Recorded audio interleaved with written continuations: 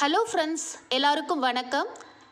நம்மளில் பல பேருக்கு கால் வலி முழங்கால் வலி மூட்டு வலி அதிகமாக இருக்கும்.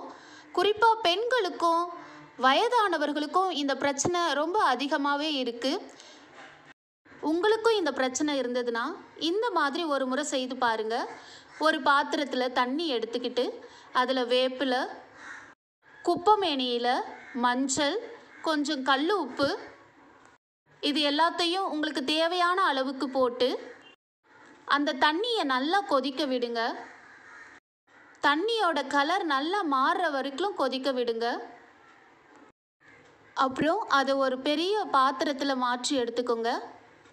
உங்கள் கால் சூடு தாங்குற அளவுக்கு கொஞ்சம் பச்சை தண்ணியும் கலந்து உங்கள் கால் பாதங்களை ஒரு பத்து அல்லது பதினைந்து நிமிடம் இந்த மாதிரி வைங்க. உங்களுக்கு எங்கெல்லாம் வலி இருக்கோ அங்கெல்லாம் இந்த தண்ணியை ஊற்றி கொஞ்சம் நல்லா அழுத்தி விடுங்க. இதே மாதிரி உங்களுக்கு வலி குறையிற வரைக்கும் ஒரு டூ த்ரீ டேஸ் செய்து பாருங்க. நிச்சயமாக நல்ல பலன் கிடைக்கும். Thank you friends